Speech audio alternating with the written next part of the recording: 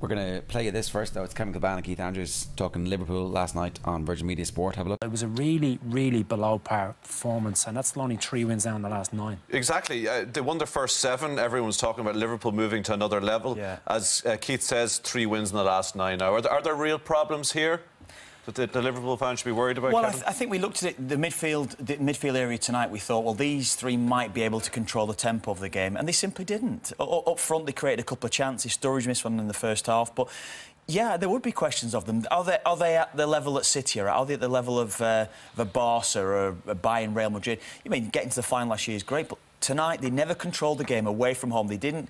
They didn't weather the storm early. They didn't. Uh, they conceded chances. It wasn't isolated incidents that's got Red Star in front in that first half. And second half, 85 around 85% mm. possession they had in the ball and created, apart from maybe a 10-minute spell, uh, the the start of that second half created virtually nothing. Mm. Long throws and, and, and, corners being put into the area. That was all they created. They're not the level they were. They're not the level they were at last year. Last year, yeah. So Virgin Media Sport, obviously the new home of European football in Ireland, with more than 400 UEFA Champions League, Europa League, and Nations League games live this season.